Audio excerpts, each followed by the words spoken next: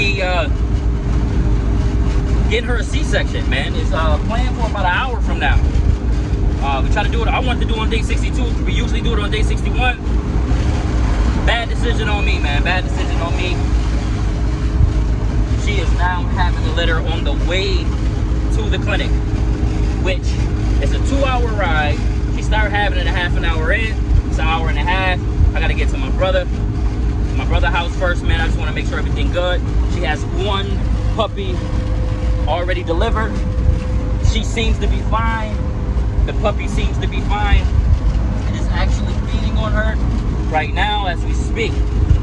Uh, I don't know how complicated it was for her to push it out because I just turned around and next thing you know, I seen a puppy. So, uh, I'm really, I'm trying to be mindful I want to see, I want to see what's going on and see how difficult it is for her uh, to uh, deliver if she's in it, uh, showing any signs of distress or the puppies are uh, showing any signs of distress. Uh, but it's looking like the, I got to make a stop at my brother's house before even going to the uh, clinic because he's like 30, 40 minutes away. And then it's another 45 from there to get to the actual clinic. So uh, I got to make a stop there. Um, I'm thinking she's to have at least one or two more puppies on the ground by the time I get to him. I'm hoping everybody uh, makes it. The first one came out pretty decent. Uh, it looks like anyways. Don't know, but I do know that it is moving around and actually uh, going for the nipple and, and made it to the nipple.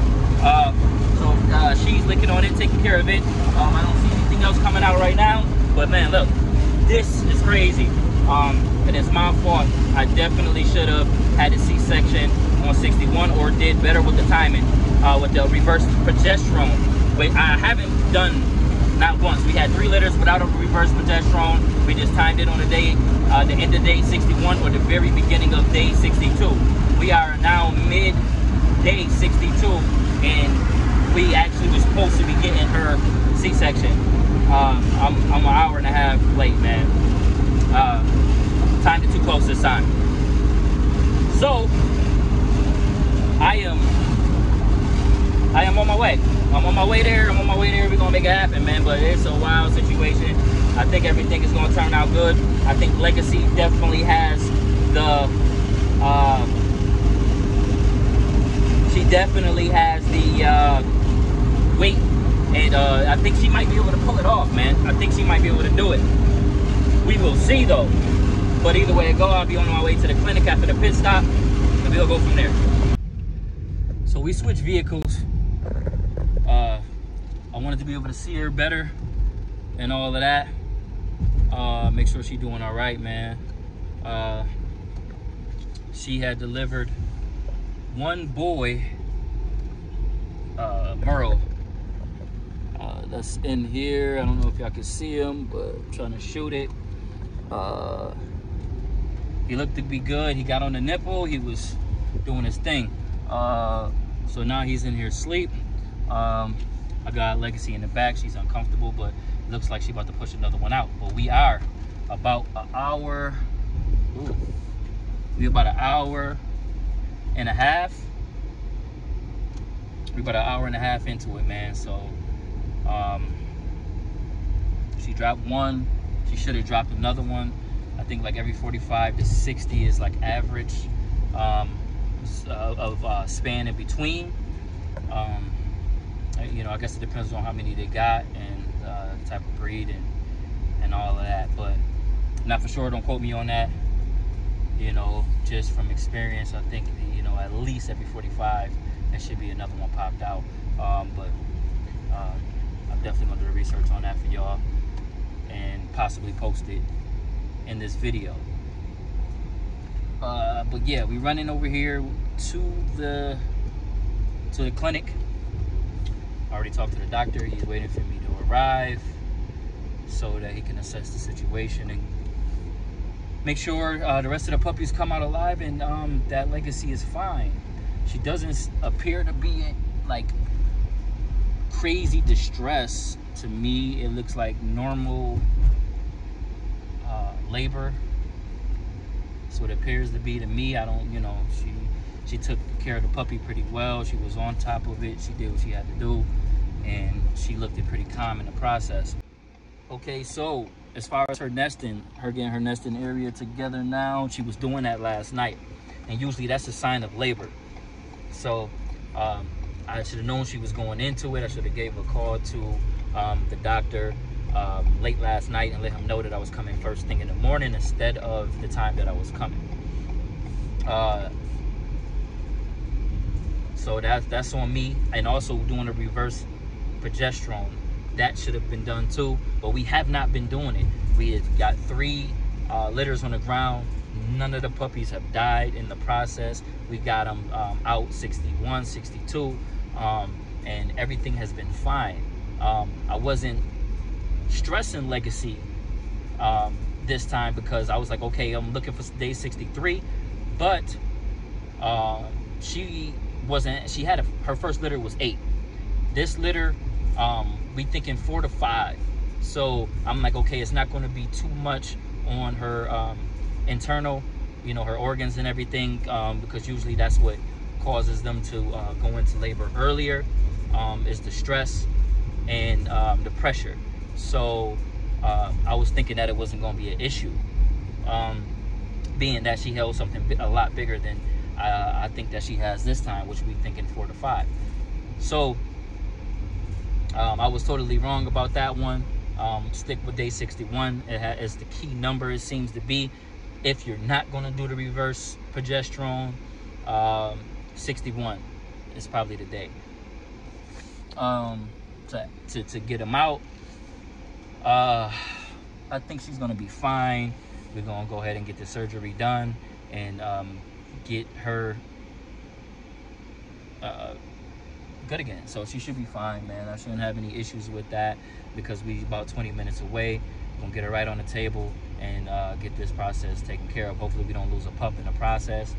Um, that would really suck. Um, I don't think we will. Um, got a good doctor. I think he's gonna knock it out everything's gonna be fine. Um, but definitely a learning lesson here, and that is don't play around. Get your reverse progesterone or do it on day 61. Don't do it. Or and if and if it's a big litter, you might want to think about doing it before then. Don't know. Can't really tell y'all. This is the experience. Um, that being said, none of this information, I'm not giving y'all no advice. I'm just running down my experience. So when y'all run into these type of situations, y'all can make better decisions. Um, and uh, you know, y'all don't have to take the, uh, the the L's that I've took in the process of learning. Um, I, I could have done a lot more research um, when it comes to other people and all of that stuff, which I have, but I'm just winging it off of my experience, man. So um, y'all getting to see it all. You know, y'all get to see it all here. Uh, I know my girl, my baby, man. That's my baby back there, man. I can't wait. I'm about 20 minutes away. She should be fine, though. And, uh, yeah, I'm on the way to handle this, man. So, all right, see y'all in a minute.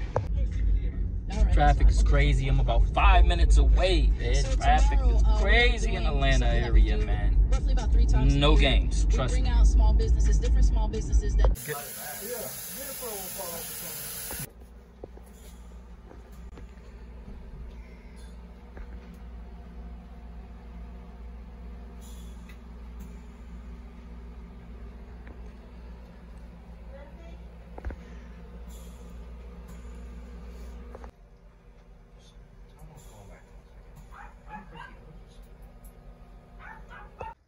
So we are back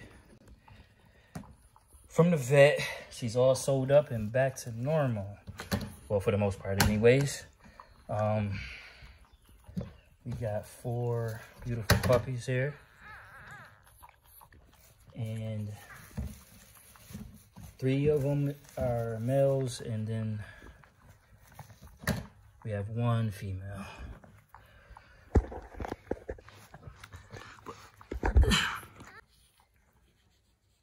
Got the, the other three surgically removed. This Merle right here was the one who came out on his own. Um, but Legacy is fine and all the puppies made it. So thanks for my uh my vet. He's always clutch. Came through for me. Uh, but everybody's good, man. Everybody seemed to be good. So I'm about to get them onto the nipple. I know a lot of people want to see the dogs more often. So, you know, I want to show y'all what's going on with some of the dogs. But right now, um, I'm about to get these dogs onto the milk and make sure that mama's doing good and the pups are doing good. But uh, so far, everybody, everybody seems to be fine. So we made it through another one, y'all. And if my take out of that, if you're not going to do the reverse uh, progesterone, I would definitely recommend getting them taken out on the 61st day. You know, because the 62nd is definitely pushing it.